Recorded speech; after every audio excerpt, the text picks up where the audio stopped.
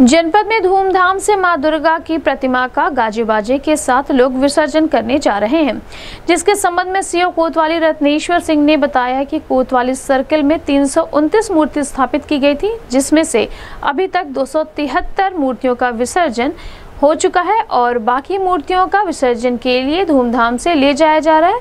देर रात उनका भी विसर्जन हो जाएगा। शेष मूर्तियाँ कल विसर्जित होंगी। उन्होंने बताया कि बुधवार को पारिस में भी पुलिस कर्मियों ने मूर्तियों के विसर्जन में अपनी ड्यूटी निभाई, जिससे मूर्तियाँ सकुशल विसर्जित हुई। गुरुवार को भी सभी पुलिस कर्मियों की ड्यूटी लगाई गई है। सतर्कता पूर्वक मूर्तियों के विसर्जन करवाया जा रहा है। इसके अलावा सुरक्षा के दृष्टिगत एसएसबी जवानों व सिविल पुलिस कर्मियों फायर विभाग की ड्यूटी लगाई गई है। सभी मूर्तियों को सकुशल विसर्जन करवाया जाएगा। इस संबंध में गोरखपुर न्यूज़ से बात करते हुए सीओ कोतवाली, रत्नेश्वर सिंह ने कहा।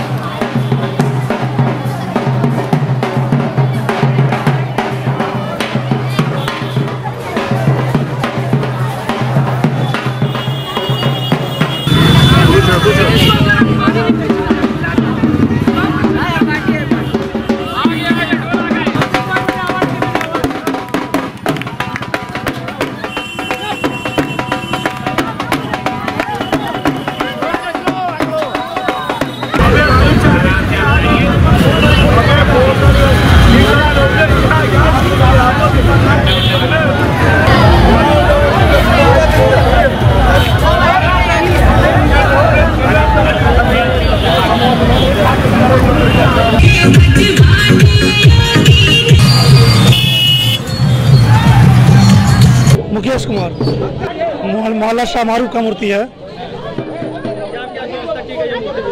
मूर्ति विसर्जन के लिए हम लोग डीजे है, वहाँ की हम लोग समिति है और मूर्ति विसर्जन सहूलत से जा रहा है। लमसम पैंतालीस साल हो गया। लमसम पैंतालीस वर्ष। ये हम लोग करेंगे बाधा अनन्या सिंह। बहुत अच्छा लग रहा है यहाँ, इतने सारे लोग आए और यहाँ इतनी सारी माताएँ आई हैं। हाँ हर साल आते हैं। कितने सालों से दस पाँच सालों से आ रहे हैं।